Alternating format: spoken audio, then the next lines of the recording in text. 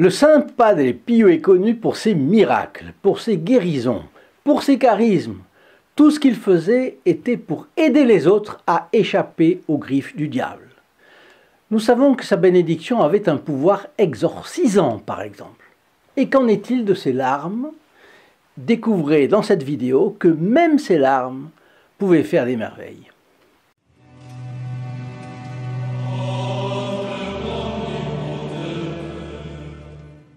Cher ami fidèle du Padre Pio, bonjour, mon nom est Jean Goyard et vous assistez au programme sur les pas du Padre Pio. Aujourd'hui, encore de nos jours, la Providence peut guérir ceux qui ont confiance en elle. Si vous découvrez notre chaîne, euh, sachez que sa mission est de répandre la vie du grand saint catholique du XXe siècle qui est le Padre Pio. C'est un moine capucin comme on peut en imaginer dans les premiers siècles de l'ère chrétienne, même avant que l'ordre capucin n'existât. Contemplatif, donné à la prière et à la pénitence, oui, mais il multipliait les miracles. Il portait dans ses mains, ses pieds et son côté les plaies du Christ crucifié, c'est-à-dire les stigmates de la passion du Christ. Si vous voulez recevoir sa photographie, nous la diffusons dans les familles, gratuitement et franco de port. Il vous suffit pour cela de la commander au 08 05 36 08 47, appel gratuit depuis la France, coût d'un, la France métropolitaine, coût d'un appel local depuis les dom et depuis le Canada, veuillez composer le 1 844 398 88 67. C'est l'histoire de Anna Benvenuto, mariée à M. Panicali. Euh, elle raconte, euh, je crois que Anna Benvenut est encore aujourd'hui vivante. Euh, son mari, M. Panicani, ignorait initialement qu'il était diabétique. Et un matin, il a remarqué que sa vue baissait. Il est allé chez le médecin et celui-ci a fait ce que font tous les médecins. Il l'a envoyé réaliser quelques analyses. Et le résultat a été que son taux de glycémie était très élevé. L'évolution en plus a été très rapide. Il s'est trouvé peu après dans un état pré-comateux. Malgré un super régime et un traitement strict, sa vue s'est détériorée malheureusement de plus en plus. Alors désabusé, il s'est rendu chez un autre spécialiste. C'est toujours comme ça. On change de médecin espérant que le prochain sera plus optimiste. Et là, il a la confirmation que son diabète va fatalement conduire à la cécité. La cécité, c'est-à-dire il va devenir aveugle. Alors, désemparé, sa femme accourt auprès du Padre Pio. Le Padre Pio est le grand recours, en dernier recours. Elle se confesse, et après sa confession, vous savez que c'était le rite obligé pour parler avec le Padre Pio. Et à cela, il y avait des raisons, bien sûr. Alors elle lui raconte la maladie de son mari et elle explique que les médecins n'ont pas d'espoir de le guérir. Le padre s'approche de la petite trappe du confessionnal, vous savez, qui sépare le confesseur des femmes, puisque les hommes, ils les confessaient face à face, comme en Espagne d'ailleurs.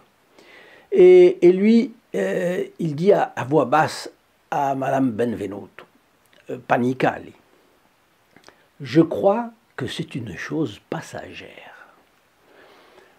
pour quelqu'un qui serait habitué au pas d'épi, ce serait clair, n'est-ce pas? Le livre qui rapporte ce Fioretti n'a pas donné d'explication complémentaire.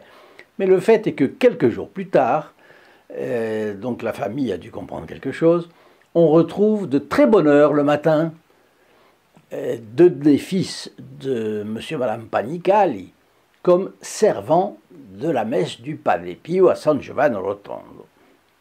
Ce dernier pleurait parfois durant la messe et s'essuyait les yeux avec son mouchoir. Ce jour-là, c'est ce qui se passe. Pendant la célébration, le Saint Capucin humidifie un mouchoir de ses propres larmes, qu'ont fait les deux fils de monsieur et madame Panicale. Vous imaginez ce que j'aurais volontiers fait à leur place.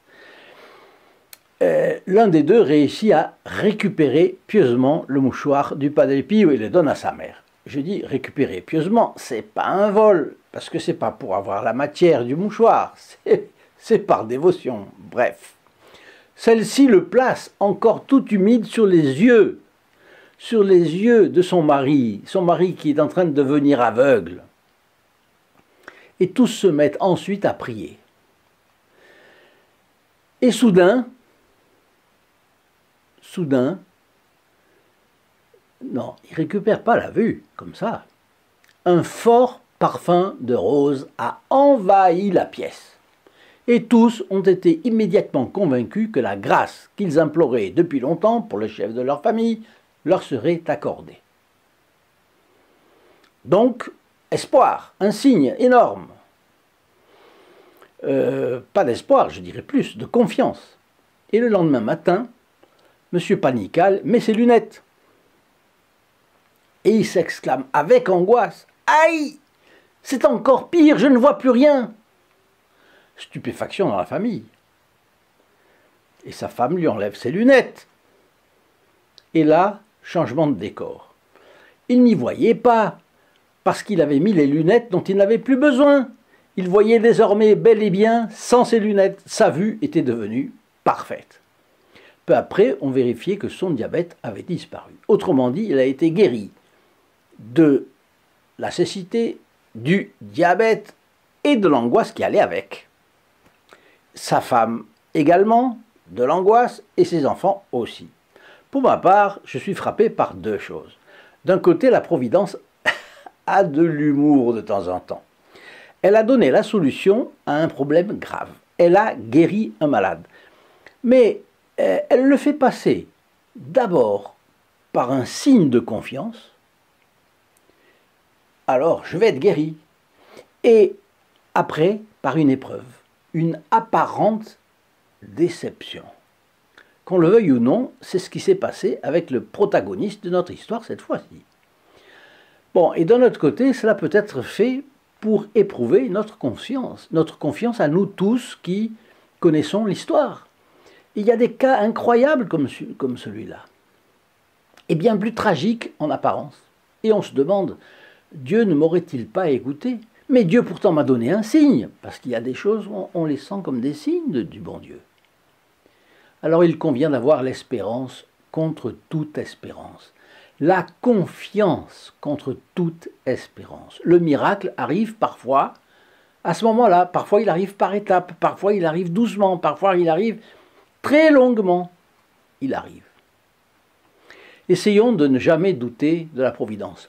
Pas même un instant. Si vous avez aimé cette vidéo, dites-le, partagez-la et venez me retrouver ci-dessous dans la description de cette vidéo sur le lien https st-padre-pio.fr et que la Sainte Vierge vous protège. Au revoir. In nome del Padre, del Figliolo e dello Spirito Santo, e così sia. Si lodato Gesù e Maria, oggi